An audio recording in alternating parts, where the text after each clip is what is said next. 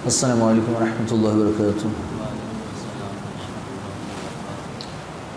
अल्हम्दुलिल्लाह अल्हम्दुलिल्लाहि रब्बिल आलमीन वस्सलातु वस्सलामु अला सय्यिदिल अंबिया वल मुरसलीन अम्मा बाद हमारे सिलसिले में आज की जो शख्सियत है, दो शख्सियतों का हम आज ज़िक्र करेंगे। एक हज़रत क़ुतैबा इब्न मुस्लिम और एक दूसरे हज़रत मोहम्मद इब्न क़ासिम रदी अल्लाह तआला दोनों के दोनों एक ही ज़माने में हैं, दोनों का ज़माना एक ही है, दोनों ताबईन में से हैं। हज़रत ख़ुतबा इबन मुस्लिम रदी अल्लाह तआला आप की विलादत, आपकी पैदाइश सन हिजरी उनचास में हुई, फोर्टी नाइन हिजरी में हुई।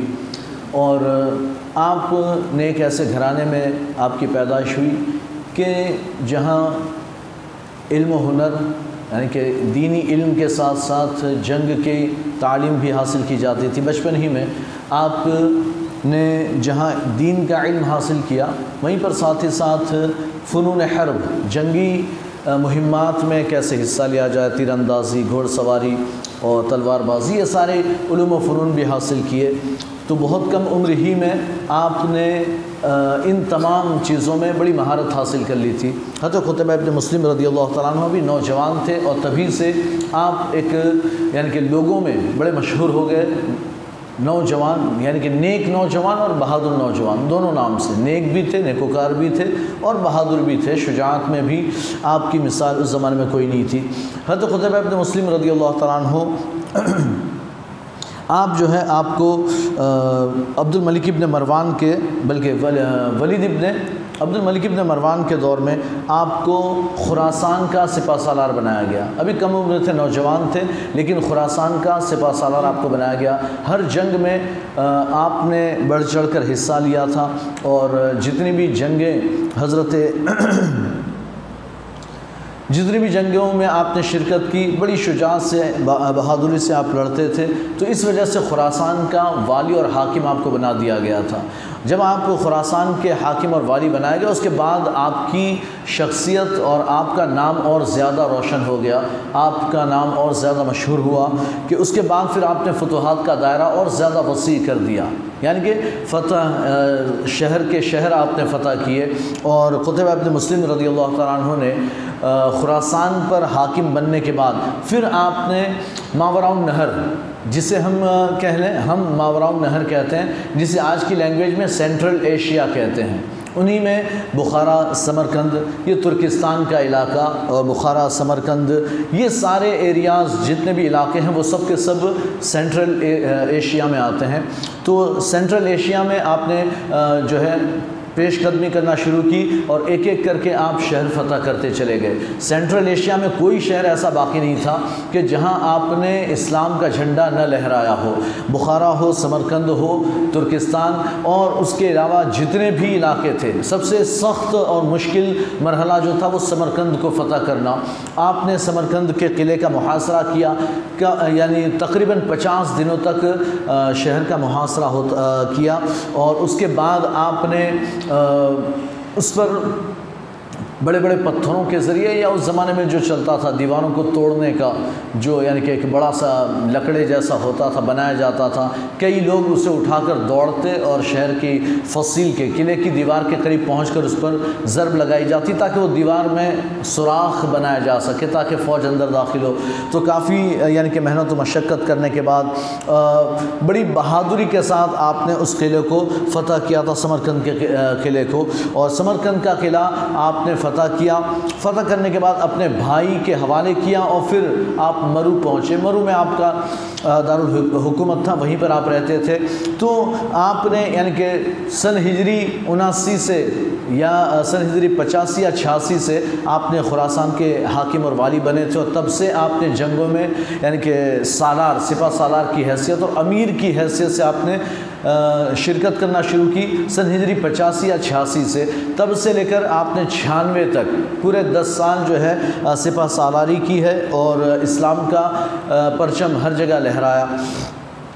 और पूरे सेंट्रल एशिया, जिसे एशिया कोचक भी कहते हैं, सेंट्रल एशिया भी कहा जाता है और मावराउन नहर भी कहा जाता है। इन तमाम में आपने इस्लाम के का परचा परचम लहराया और ये यानी कि जितने इलाके हैं, वो सब के सब मावराउन नहर इसलिए कहे जाते हैं कि चूँकि ये दरिया के पार हैं, ये सब के सब एरिया जो है इराक में दरिया के उस पार है। तो आप जो है दरिया पार करके जयहून एक नहर है, जिसका नाम जयहून है। दूसरी एक नहर है जिसका नाम सैहुन है। तो ये जयहून और सहून के उस पार जितने भी इलाके हैं, वो सब मावराउन नहर नहर के उस पार। मावराउन नहर का मतलब ही होता है नहर के उस पार। तो ये सारे एरियाज़ हैं। तो आप जब निकले थे समरकंद की, यानी कि फ़तह के लिए अच्छा एक ये बात कि आप हर साल, यानी कि रवाना होते और कोई ना कोई एक एरिया फ़तह करते, फिर वापस मरू आ जाते। मरू में आपका दारुलकूमत था, वहीं पर आप रहते थे।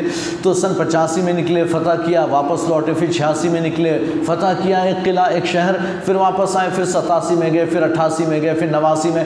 ऐसे यानी हर साल आप जाते कुछ एरियाज़ को आप फतह करते फिर वापस मरू आ जाते फिर वापस जाते तो इस तरह आप जयहुन ये मावराउन नहर है वो कई मरतबा आपने पार की। लेकिन अक्सर ये होता था कि आप जो है पूरा यानी स्टार्टिंग ये हुई थी कि पूरा यानी कि दरिया जो है पूरी नहर पार यानी कि उबूर करके आ, उसका चक्कर काट कर गए थे।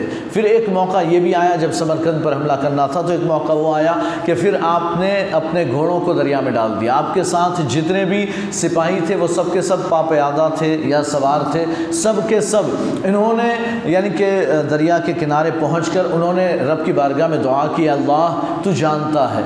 कि मेरी नीयत सिर्फ़ और सिर्फ़ ये है कि मैं तेरी राह में जिहाद करूँ, तेरा नाम और तेरा कलमा बुलंद करूँ और तेरे दीन दीन इस्लाम का परचम हर शहर में लहराऊँ। ये मेरी तमन्ना है और यही मेरी नीयत है। अगर इसके सिवा कोई और मेरी नीयत हो तो अल्लाह तू मुझे दरिया में डुबा देना। और ये कहकर आपने ये दुआ करके आपने दरिया में चलना शुरू किया, आपके साथ पूरा लश्कर। पूरा लश्कर पार हो गया, किसी के पैर तक गीले नहीं हुए थे। है? जैसे हत सादिद नबी वक़ास के साथ वाक़ पेश आया, वैसे ही हत कुतब अब्द मुस्लिम के साथ भी ये वाक़ पेश आया कि इन्होंने भी दरिया, दरियाए जैन को वैसे यानी कि पैदल चल कर पार कर दिया था। तो ये जो है हत यानी कि कुतब अब्द मुस्लिम रदी अल्लाह हो आपने वलीद इबन अब्दुल मलिक अब्दुल मलिक इबन मरवान और फिर अब्दुल मलिक इबन मरवान का इंतकाल हो गया, मर गया हो। तो उसके बाद वलीद इबन मलुक वलीद इबन अब्दुल मलिक अब्दुल मलिक इबन मरवान का बेटा वलीद। तो वलीद इबन अब्दुल मलिक के ज़माने में ये सारे इलाके फ़तह किए और पूरे सेंट्रल एशिया में इस्लामी परचम लहरा दिया। वहाँ जितनी भी बगावतें होती थी, जितने भी तुर्किस्तान के लोग थे बार बार इस्लाम के ख़िलाफ़ खड़े हो जाते थे यानी कि कभी घुटने टेक देते, फिर बगावत कर देते।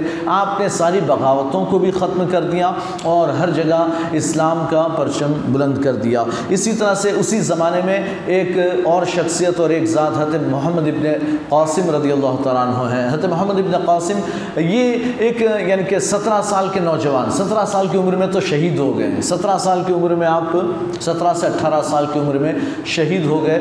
सोलह साल की उम्र थी कि जब आप कुतब इबन मुस्लिम की फ़ौज में थे, ये जो कुतब इबन मुस्लिम ने जो तुर्किस्तान और इस मावरान नहर के एरिया में, इलाकों में आपने यानी कि जंगें की और फतह हासिल की, उस लश्कर में हज़रत मोहम्मद इबन कासिम भी थे। आपका हाल ये था कि बड़े जहीन थे, बड़े जहीन फ़तीन थे। आपके वालिद कासिम का तो इंतकाल हो गया था, आपके बचपन ही में। आपकी वालदा ने आपको दीन की तालीम भी दी और आपको जंग की महारतें भी सिखाई थी। तो बहुत कम उम्र ही से आप यानी कि इल्म इल्म दीन भी हासिल कर चुके थे और फ़नून हर्ब, यानी कि जंगी कार्रवाइयों में भी आप माहिर हो चुके थे। तो 16 साल की उम्र थी जब आपने, यानी कि अपने मुस्लिम रदी तु का लश्कर तुर्किस्तान के लिए रवाना हुआ था, मावरा नहर के लिए। तो उस लश्कर के साथ आप भी रवाना हो गए थे। अब उसके बाद हुआ ये, वैसे तो आम सिपाही थे। मोहम्मद इबन कासिम, कुतब इबन मुस्लिम के लश्कर में एक आम सिपाही थे। लेकिन एक मौका ये आया कि जब ये, यानी कि बाज़ शहरों के फ़तह के लिए कुछ प्लानिंग पहले से की गई थी कि भाई हमें जो है बल्ख के रास्ते से जाना है। बुखारा एक बड़ा सख्त, बुखारा और समरकंद, ये बहुत मज़बूत किले हैं तो इनको पहले फ़तह नहीं करना। पहले हम बल्ख को फ़तह करेंगे, पहले दिगर इलाकों को फ़तह करेंगे, बाद में इनके बारे में सोचा जाएगा। लेकिन मोहम्मद इबन कासिम ने उस जगह पर पहुँच जब ये बात हुई कि हम पहले बल्ख जाएँगे तो मोहम्मद इबन कासिम ने यह मशवरा दिया। अपने सिपा सालार हत खुतब अपने मुस्लिम को ये मशवरा दिया कि नहीं, हमको चाहिए कि हम पहले बुखारा को फ़तह करें, फिर समरकंद को फ़तह करें, जब ये फ़तह हो जाएँगे तो बल्ख तो ख़ुद ब खुद आ जाएगा। जब ये फ़तह इन बुखारा जैसा बुखारा अगर फ़तह हो गया, समरकंद फ़तह हो गया तो दूसरे जो छोटे मोटे किले हैं छोटे मोटे शहर, उनके दिलों में तो हमारा रौब, हमारा खौफ, हमारा डर, हमारी हैबत वैसे ही जम जाएगी। जब वहाँ जाएँगे ना तो देख कर ही वो कांपने लग जाएँगे। और देख कर ही वो हम अपने शहर और अपने किले हमारे हवाले कर देंगे, भाई ले जाओ, हमें नहीं चाहिए, तुम ही कब्ज़ा कर लो। वो खुद ब खुद दे देंगे। तो ये एक, यानी कि प्लानिंग हज़रत मोहम्मद इबन कासिम ने पेश की। हज़रत कुतब अपने मुस्लिम को, यानी कि पूरे नक्शे पर समझाया कि हम कैसे इन्हें पहले फ़तह करें तो हमें क्या क्या फ़ायदे होंगे, सब समझाया है तो कुतब अपने मुस्लिम की समझ में आ गया क्या तेरा मशवरा तो यानी बड़ा सही है और जंग में भी बड़े माहिर हो। तो उन्हें अपने हिरावल दस्ते का सिपा सालार बना दिया। हत मुस्लिम इबन हत खुतबा इबन मुस्लिम ने अपने, यानी कि मैंने बताया था, एक हिरावल दस्ता होता है, जिसे हम कह लें कि सेंट्रल में जो लश्कर होता, फ़ौज होती है, उसे हिरावल दस्ता कहते हैं। इसी तरह से एक मैमना होता है, एक मैसरा होता है, दाहिनी तरफ़ का और बाई तरफ़ का। तो दाहिनी तरफ़ वाला राइट फ्रैंक है और लेफ़्ट फ्रैंक है तो ये सेंट्रल फ्रैंक होती है। ये एक जमात, एक, यानी कि समझ लें कि एक फ्रैंक है, लेकिन सेंट्रल में होती है। और ये सबसे आगे होती है हिरावल दस्ता जो होता है, वो सबसे आगे। और एक लास्ट वाला भी होता है, अकब में, यानी कि पीछे एक दस्ता होता है। ये चार तरह के दस्ते होते हैं हमारे, यानी कि फ़ौज में, जंगों में। तो ये हरावल दस्ते के सिपा सालार बना दिए गए, यानी कि मैन, आपको सिपा सालार लश्कर का बना दिया गया। तो आपने, यानी कि जब ये मशवरा दिया तो खुतबा अपने मुस्लिम ने कहा कि देखो हजात बिन यूसुफ से मेरी प्लानिंग हो चुकी है। अब उसकी प्लानिंग के ख़िलाफ़, ये बड़ा ालिम आदमी हजात बिन यूसुफ इस उम्मत का सबसे ालिम सबसे बड़ा ालिम आदमी है। उसने जहाँ बहुत अजीमुशान कारनामे में अंजाम दिए, वहीं पर उसने बहुत से नेकोकार, सालहीन बुजुर्गान दीन को शहीद भी किया है। बड़े बड़े मुसलमानों को उसने कत्ल करवाया है और बहुत जुल्म भी किया मुसलमानों पर। तो मुसलमानों पर जुल्म भी किया है और इस्लाम के लिए बहुत अच्छे अच्छे काम भी किए हैं। तो बहरहाल उन्होंने यानी कि कुतब अबन मुस्लिम ने कहा कि भाई तुम जाकर, तुम खुद जाओ और जाकर हज़रत बिन यूसुफ को पहले समझाओ। अगर वो मंजूरी देता है तो ठीक, वरना तो फिर हम उसकी प्लानिंग के मुताबिक काम करेंगे। मोहम्मद इबन कासिम ने कहा, कोई बात नहीं, मैं जाता हूँ। आप गए। हाँ तो कुतब अबन मुस्लिम ने ख़त लिख दिया था यानी ख़त भेज दिया था, कासिद को भेज दिया था कि भाई मैं जो है ख़ुद नहीं आता हूँ, लेकिन मैं अपना एक नहीं, बल्कि हत मोहम्मद इबन कासिमी को ख़त दे दिया। मोहम्मद इबन कासिम पहुँचे। हज़रत बिन यूसुफ यूसुफ जो है ना उसने बुलाया था कि भाई तुमने ये जो काम किया मेरा मेरे प्लान से हटकर तुमने अपना प्लान चलाया तुम फ़ौर मेरे पास हाजिर हो जाओ मुझे जवाब चाहिए तुमने ऐसा क्यों किया? यानी को आ, उसे क्या कहते हैं कि शो कोज नोटिस जारी कर दिया था। कि भाई भाई रीज़न बताओ, वजह बताओ शोकोज नोटिस जारी हो गया। भाई आओ, तुमने मेरे प्लान के ख़िलाफ़ अमल क्यों किया? तो इन्होंने मोहम्मद बिन कासिमी को भेज दिया, भाई तेरे ही प्लान पे अमल किया तो तू ही जाके समझा करा। उन्होंने कहा, ठीक है, अब ये ख़त लिख दिया कि मैं अपने बेहतरीन सालार को आपके पास भेज रहा हूँ, आप इससे बात कर लीजिएगा। अभी मोहम्मद बिन कासिम पहुँचे, ये चक्कर लगा रहा था, हजात बिन यूसुफ बिल्कुल हट्टा कट्टा, मोटा, ताज़ा, तड़ंगा था, एकदम पहलवान आदमी, है ना? और लोग देख कर पेशाब कर देते थे, उसको देख कर इसलिए वो इतना बड़ा ालिम आदमी था। बस जो, यानी कि बहुत से ऐसे बुजुर्गान दीन हैं कि जिन्होंने उसके सामने उसकी आँखों से आँखें मिलाकर बात की है और हक बात की है, उससे डरे बगैर। मोहम्मद बिन कासिम पहुँचे, उस वक्त आपकी उम्र सोलह साल की थी। बिल्कुल सिपाही, यानी फ़ौजी ड्रेस में थे, ज़रा पहनी हुई थी, लोहे की टोपी पहनी हुई थी और उस साल में पहुँचे। तो आपने नौजवान को देखा तो आपने कहा कि, कुतबा कहाँ है? वो क्यों नहीं आया? तो कहा कि उन्होंने ये पैगाम, ये ख़त दिया है। तो उन्होंने ख़त पढ़ा और उसके बाद कहा कि ठीक है तो वो बेवकूफ़ कहाँ है? वो बेवकूफ़ कहाँ है? जो कुतब अपने मुस्लिम ने कहा कि मैं अपने फ़ौज का बेहतरीन सालार भेज रहा हूँ तो वो बेवकूफ़ कहाँ है? है ना, तू ख़त लेकर क्यों आया? उसको भेज। तो मोहम्मद बिन कासिम ने कहा कि वो सालार मैं ही हूँ जिसे कुतब अपने मुस्लिम ने भेजा है। तो हज़रत बिन मुस्लिम तू आठ साल का लड़का तू क्या करेगा मेरे से बात? तू मुझसे क्या बात करेगा? है ना? तो हज़रत मोहम्मद मोहम्मद इबन कासिम ने कहा कि आप मेरी बात सुन लें, मैं आठ साल का नहीं, मेरी उम्र सोलह साल है। मेरी उम्र सोलह साल है। पहले पहले मेरी बात सुन लीजिए, उसके बाद आप फैसला कीजिए। फिर उसके बाद जो है नक्शा हज़रत बिन यूसुफ ने खोल कर रखा तो पूछता है कि नक्शा देखना आता है? हज़रत मोहम्मद इबन मुस्लिम ने मोहम्मद इबन कासिम ने कुछ जवाब दिए बगैर आपने बात शुरू कर दी, देखो, ये ऐसा है, ये सारी प्लानिंग समझाना शुरू कर दी। जब पूरी प्लानिंग बताई और सारी बातें समझाई तो हजात बिन यूसुफ यानी उनका मुँह देखता रह गया। ये बंदा है कौन? इतना नौजवान, लेकिन बातें ऐसी कर रहा है कि बड़े बड़े सिपा सालार भी ऐसी बातें नहीं करते। तो उन्होंने कहा, भाई, तू है कौन? तेरा नाम क्या? उसने कहा, मैं मोहम्मद इबन कासिम हूँ। तो हजात बिन यूसुफ चौंका, ओह, कासिम का बेटा? यकीनन, अगर तू कासिम का बेटा है तो फिर ऐसा ही हो सकता है। अगर तू कासिम का बेटा है तो ऐसा ही हो सकता। इसलिए कि कासिम इनके भाई का नाम है। हजात बिन यूसुफ के भाई का नाम कासिम इबन यूसुफ है। ये कासिम हजात बिन यूसुफ के भाई थे और मोहम्मद इबन कासिम हजात बिन यूसुफ का भतीजा है। भतीजा। कहाँ कासिम का बेटा ही हो सकता है, ऐसी बात कर सकता है। तो उसके बाद जो है, आपने, यानी कि सारी बातें मंजूर की उनकी। अब ये सारी बातें हो रही थी प्लानिंग वगैरह चल रही थी। अचानक उसी, यानी कि पीरियड में, उसी टाइम में इधर अरब, यानी हिंदुस्तान सरनदीप उस वक्त हिंदुस्तान ही का एक इलाका था जिसे आजकल श्रीलंका कहा जाता है। उस वक्त उसका नाम सरनदीप था। तो ये श्रीलंका जो है है ना, उसे लंका हम कह लें, श्री की ज़रूरत नहीं है। तो ये लंका जो है है ना, उस वक्त उसका नाम सरंदीप था। तो अरब से ताजिर, समंदर के रास्ते जहाज़ों में अपना माल तजारत, सामान्य तजारत लेकर आते और लंका में आकर वो यानी तजारत करते। तो हिंदुस्तान, समझो हिंदुस्तान आते, लंका भी हिंदुस्तान का हिस्सा। तो लंका आते और आने के बाद जो है, वहाँ तजारत करते, कुछ लोग वहाँ बसते, फिर वापस जाते, फिर सामान, यहाँ का सामान वहाँ ले जाते, वहाँ का सामान, यानी एक्सपोर्ट इम्पोर्ट का बिज़नेस करते थे। तो ये मुसलमानों का एक यानी कि बड़ा सा जहाज़ जो है सामान सामान तजारत लेकर जा रहा था और सारे अरब मुसलमान ताजिर, मर्द, औरत सारे के सारे थे, वो वापस जा रहे थे। तो सिंध के डाकुओं ने, अब ये सिंध पाकिस्तान का एरिया फ़िलहाल पाकिस्तान का एरिया उस वक्त सब हिंदुस्तान था।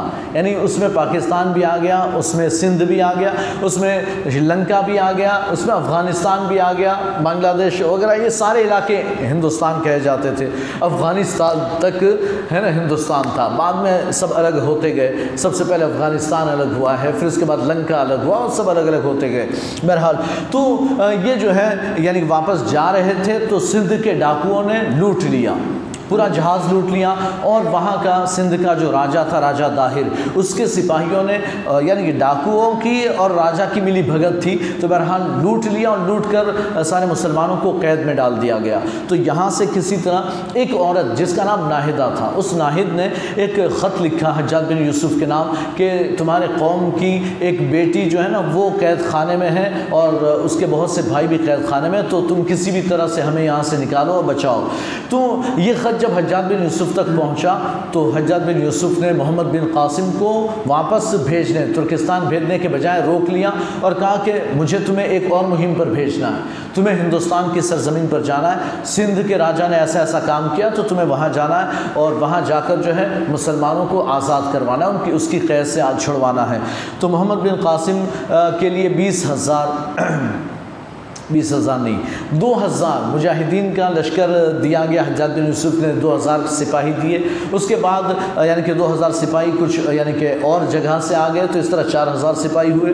फिर, यानी कि ये चार हज़ार सिपाही के साथ मोहम्मद बिन कासिम ने सबसे पहले ट्रेनिंग का काम किया। उन्हें ट्रेनिंग दी और ट्रेनिंग देने के बाद, यानी कि सारे हालात मालूम किए कि सिंध के क्या हालात हैं, यहाँ की आबो हवा क्या है, यहाँ कैसी बीमारियाँ हैं, क्या हालात ये सारी चीज़ें मालूम हासिल करने के बाद क्या रास्ता, ये सारी सारी चीज़ें देखकर फ़ौज को ट्रेनिंग दी। ट्रेनिंग देने के बाद वो सारे, यानी उस तरह के हथियार और दवाइयाँ वगैरह सारा इंतज़ाम किया और फिर लेकर रवाना हुए। चार हज़ार का लश्कर लेकर। और दरिया के रास्ते, ये तो खुशकी के, ज़मीन के रास्ते, यानी कि रवाना हुए। और समंदर के रास्ते से तो मुंजनिक। मुंजनिक कहते हैं, उस ज़माने में इस तरह की मुंजनिक बनाई जाती थी कि जिसके ज़रिए बड़े बड़े पत्थर जो है ना, जिसे हम गुलैल कह लें गुलैल हमारे यहाँ गुलैल होती है ना, वो छोटी सी होती है इतनी सी होती है। उसमें हम एक छोटा सा पत्थर लेकर ऐसे निशाना मारते हैं, लगता है ज़ोरदार, है ना? चिड़िया गिर सकती है, चिड़िया गिर सकती है। उस ज़माने में ये सेम गुलेल है, लेकिन फ़र्क ये है कि वो इस यानी कि मस्जिद की हाइट जितनी, यानी दो डंडे होते बाम्बू होते, उनमें फिर एक बड़ा सा चमड़ा, कई चमड़े जॉइंट करके वो बाँध दिए जाते, फिर उन्हें खींच कर नीचे, पीछे तक आगे बड़े दो पत्थर रखे जाते, इन्हें खींच कर यानी कि नीचे लाया जाता, उसमें बड़ा सा पत्थर रखकर फिर इसे छोड़ा जाता आता तो फिर वो पत्थर ज़ोर से जाता और सामने जो भी कुछ होता, दीवार वगैरह, उसे तोड़ देता। उस पर जर्ब लगाई जाती। तो इस तरह से किले की दीवारों को तोड़ा जाता था। बाकायदा इस तरह के, यानी कि मुंजनिक बनाई जाती थी। बाद में चलकर इसी मुंजनिक ही की नई शक्ल तोप है। बाद में तोपें आई और तोप में अब पत्थर के बजाय गोले, बारूद के गोले बनाकर जो है छोड़े जाने लगे। उनसे भी काम वही लिया जाता है। लेकिन ये कि पहले पत्थर फेंके जाते थे, अब गोले फेंके जाने लगे। तो काम सेम है। बहरहाल तो ये मुंजनी के थी बड़ी बड़ी मुंजनी के वो जहाज़ के रास्ते, समंदर के रास्ते से जहाज़ों में सवार करके भेजी गई। उसमें सबसे बड़ी जो मुंजनिक थी, जिसका नाम उरूस था। उरूस उसे पाँच हज़ार आदमी मिलकर चलाते थे। इतनी बड़ी मुंजनिक थी कि पाँच हज़ार आदमी मिलकर उसे चलाते थे। इतनी बड़ी मंजरी। तो ये सब रवाना किया गया।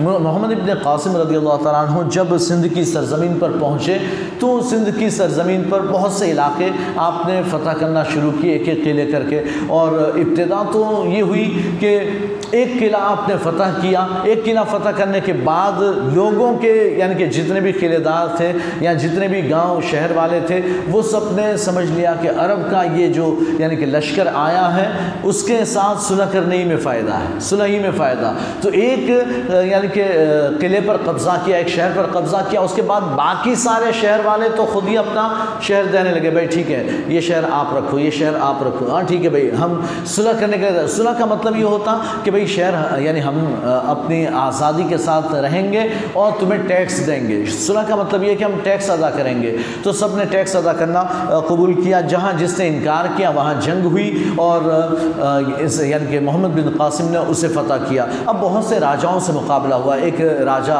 जिसका नाम राजा बजरा था, एक राजा जिसका नाम राजा काका था।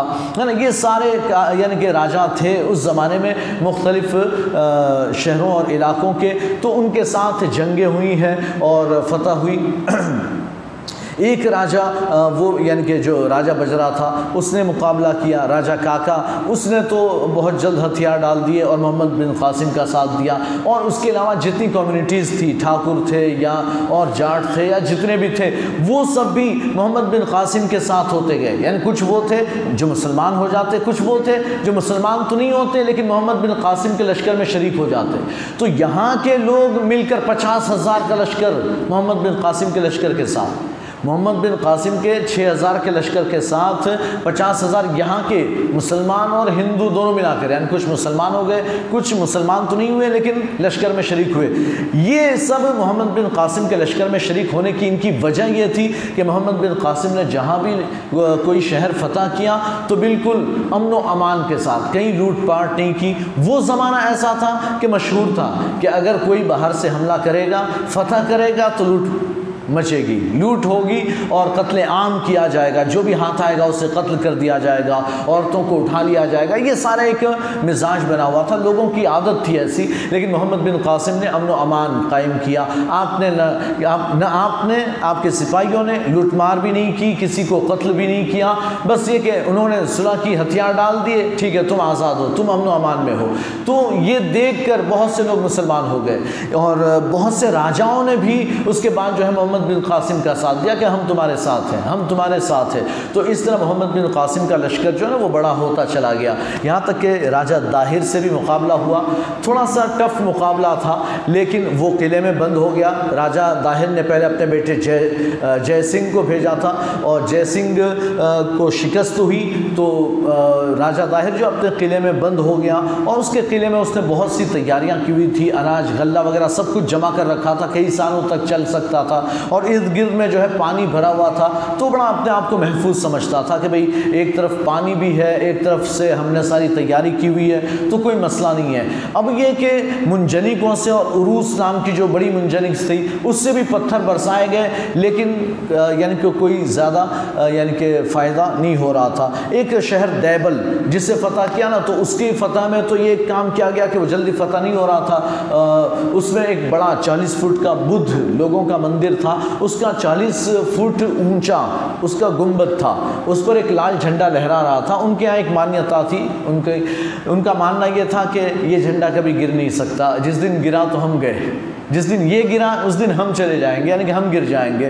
तो मोहम्मद बिन कासिम ने उसी, यानी कि वो फतह नहीं हो रहा था किला तो मोहम्मद बिन कासिम ने कहा कि इसका निशाना लगाओ, इसको गिराओ तो ये गिरेंगे। तो बहरहाल उसे गिराया गया तो फिर सारे लोगों ने अपना दरवाज़ा खोल दिया। और राजा दाहिर ने अपने अंदर, यानी किला बंद कर लिया था तो मोहम्मद बिन कासिम ने यानी कि कुछ दिन मुहासरा किया, देखा कि किला फतह नहीं हो रहा है, और ये लोग भी अंदर आराम से बैठे हुए हैं, किले के करीब जाते तो ऊपर से तीर बरसाए जाते, ऊपर से आग डाली जाती। तो मोहम्मद बिन कासिम ने एक चाल चली और चाल ये चली कि आपने जो है ना अपने लश्कर को पीछे हटाना शुरू कर दिया, पीछे हटने लगे। और आपका यानी कि दाई बाई जानब से तो लश्कर को आगे कर दिया और जो सामने वाला, किले के सामने का जो लश्कर था, उसे पीछे करना शुरू कर दिया। जब पीछे हटने लगे तो उधर से, अंदर से किले वालों ने देखा कि तो जा रहे हैं। ये तो डर रहे हैं और डर कर पीछे हट रहे हैं। तो जब इन्होंने देखा कि पीछे हट रहे हैं, ये वापस जा रहे हैं, वापस जा रहे हैं, ये देख रहे हैं कि ये लोग भाग कर वापस जा रहे हैं, ये हार गए। तो उन्होंने समझा कि हम तो जीत गए। अब तो हमारी फतह है। मुसलमान जो है वो डर कर भाग रहे हैं। तो उन्होंने किले के दरवाजे खोले और जब किले के दरवाजे खोले तो आगे बढ़ते गए, मुसलमान पीछे हटते गए। मोहम्मद बिन कासिम ने अपना लश्कर पीछे हटाया। वो और आगे बढ़े। अब ये खुश हैं कि हम जितना आगे बढ़ रहे हैं कि और पीछे भाग रहे हैं। हमसे डर गए, हमसे डर गए। तो मोहम्मद बिन कासिम पीछे हटते गए, हटते इतना हटे इतना हटे कि ये किले से बहुत दूर आ गए। जो दाएँ बाएँ के लश्कर थे, वो पीछे आए। अब फिर मोहम्मद बिन कासिम आगे से, पीछे से दोनों लश्कर और कुचल दिया। तो राजा ताहिर को एक, यानी कि बड़ी भारी शिकस्त हुई और सिंध पर, पूरे सिंध पर इस्लाम का परचम लहराया। मुसलमानों की हुकूमत कायम हुई। ये सत्रह साल की उम्र में मोहम्मद बिन कासिम ने पूरे सिंध को फतह फरमाया था। हाल ये था, सिंध के लोगों का हाल ये था कि हज़रत मोहम्मद बिन कासिम एक कमरे में अपने सिपाहियों, अपने यानी सालारों के साथ, जनरल, जनरलों के साथ बैठ कर मीटिंग कर रहे थे, बातचीत हो रही थी कि अचानक जो है ढोल ताशे नगारे लेकर आवाज़ें आ रही थी, कोई कुछ जा रहा है। तो मोहम्मद बिन कासिम ने कहा, देखो तो भाई क्या है, कोई जश्न मनाया जा रहा है। तो बाहर निकल कर देखा तो पता चला मोहम्मद बिन कासिम की मूर्ति, पत्थर की मूर्ति बनाई गई थी। लोग जो है, ढोल ताशे बजा के नाचते हुए उसे ले जा रहे थे। मोहम्मद बिन कासिम ने उनको रोका, भाई, क्या है? ये क्या है? कहाँ ले जा रहा हो? क्या है? ये सब क्या है? उन्होंने कहा कि, आप आए ना, तब से बहुत दिल को सुकून मिला है। आपको, यानी जब से आप आए हैं, अमन अमान है, चैन सुकून है, हम बहुत ही खुश हैं। तो हम चाहते हैं कि हम आपके नाम का मंदिर बनाएँ। ये हमने मूर्ति बनाई है। हम चाहते हैं, देखो ये, यानी कि उसका जिसने बनाई थी, ये बहुत बड़ा मशहूर कारीगर है, इसने आपकी ये मूर्ति बनाई। हम इसे मंदिर में ले जाकर रखेंगे, आपकी पूजा करेंगे। मोहम्मद बिन कासिम ने उससे कहा, जिसने बनाई वही तोड़े। पहले, पहली फुर्सत में इसे तोड़े। कहते उसे तोड़वाया अपने सामने और कहा कि देखें, मैं जो है ना, कोई अपनी पूजा करवाने नहीं आया। मैं तो तुम्हारी तरह का एक इंसान हूँ। मैं तो सिर्फ़ एक दावत देता हूँ कि उस एक अल्लाह की इबादत करो जिसने हम सबको पैदा किया, मुझे भी और तुम सबको भी पैदा किया। बहुत से लोगों ने इस्लाम भी कबूल किया था। बहुत से ऐसे के ऐसे ही थे, लेकिन मोहम्मद बिन कासिम हर एक के दिल में बसे हुए थे। हर कोई उनसे मोहब्बत करता था, हर कोई उन्हें चाहता था। फिर ये यानी कि बड़ी अच्छे से हुकूमत चल रही थी सत्रह साल की उम्र के नौजवान ने पूरे सिंध पर कब्ज़ा किया था। अब उधर वलीद इब्न अब्दुल मलिक का इंतकाल हुआ। वलीद इब्न अब्दुल मलिक का इंतकाल हुआ तो सलेमान इब्न अब्दुल मलिक, जो वलीद का भाई था सलेमान इब्न अब्दुल मलिक, वो तख्त नशी हुआ। अब ये जब तख्त नशी हुआ तो सलेमान इब्न अब्दुल मलिक की हजात बिन यूसुफ से दुश्मनी थी। हजात बिन यूसुफ से दुश्मनी। अब हजात बिन यूसुफ छः महीना पहले इंतकाल हो गया छः महीने के बाद वलीद का इंतकाल हुआ, और वलीद का इंतकाल हुआ तो सलेमान इब्न अब्दुल मलिक आया, और सलेमान इब्न अब्दुल मलिक की दुश्मनी हजात बिन यूसुफ से थी। तो ये दुश्मनी में उसने जो है हजात बिन यूसुफ के जितने रिश्तेदार थे, उसके जितने, यानी कि मातहत और सालार थे, उसके जितने करीबी लोग थे, सबको उसने सज़ाएँ दी। तो उसी में, इसी यानी कि दुश्मनी में उसने खुतबा इब्न मुस्लिम रदी अल्लाह को है ना मावरा नहर से बुला लिया, वहाँ से यानी कि वापस बुला लिया कि भाई हाजिर हो जाओ। तो वहाँ से बुला लिया, इसी तरह मोहम्मद बिन कासिम को सिंध से बुला लिया और मूसा बिन नुसैर, तारिक बिन ज़ियाद इन हम आइंदा कल इन्हीं लोगों के बारे में तस्करा करेंगे। तो तारिक बिन ज़ियाद और मूसा बिन नसीर नुसैर, उन्हें भी वापस बुला लिया, ये सारे लोगों को बुला लिया, जहाँ जहाँ जंगें चल रही थी, जो सिपा सालार थे सबको बुला लिया। मोहम्मद बिन कासिम को जब बुला लिया, वापस बुलाया गया था तो एक बात ये थी कि वलीद के बाद अब सलेमान बनाए और उसकी दुश्मनी है तो वो ज़रूर बदला लेगा। तो यहाँ हज़रत मोहम्मद बिन कासिम को उनके, यानी कि सिपाहियों ने, उनके सालारों ने मशवरा दिया कि आप न जाएँ। ये आप ना जाएँ। अगर आप कहें ना तो सिंध के लोगों को मिलाकर एक लाख का हम लश्कर तैयार कर सकते हैं, जो सलेमान अब्दुल मलिक से मुकाबला कर सकता है। लेकिन आप न जाएँ, आप जाएँगे तो वो नुकसान पहुंचाएगा। हत मोहम्मद इबन कासिम ने कहा, मेरा जो होता हो जाए, लेकिन मैं इस्लामी हुकूमत की मुखालफत नहीं कर सकता। मैं अगर मुखालफत करूँगा, अगर सलमान इबन अब्दुल मलिक के ख़िलाफ़ मैं खड़ा होता हूँ तो गोया कि मैंने इमारत और हुकूमत की हुकूमत से बगावत की, वो भी हुकूमत इस्लामिया से बगावत की तो बिला वजह मैं नहीं कर सकता। बहरहाल आप गए, और जब आप गए हैं तो आपको शहीद कर दिया गया। तो बहरहाल इस तरह मोहम्मद इबन कासिम, सत्रह साल के नौजवान थे और सत्रह साल की उम्र में आपने शहादत पाई। अल्लाह तबारक तारा उस नौजवान की बहादुरी से हमें भी हिस्सा अता फरमाए। सत्रह साल में वो अजीम शान कारनामे उन्होंने अंजाम दिए और पूरे सिंध सिंध पर, पूरे सिंध पर, आजकल सिंध जो है आधा थोड़ा सा हिस्सा हिंदुस्तान में है और थोड़ा सा हिस्सा पाकिस्तान में है। कुल मिलाकर पूरे सिंध पर हज़रत मोहम्मद बिन कासिम ने सत्रह साल की उम्र में कब्ज़ा किया था। अल्लाह ताला उनके जैसा जज्बा हमें भी अता फ़रमाए असल वरहमल वर्क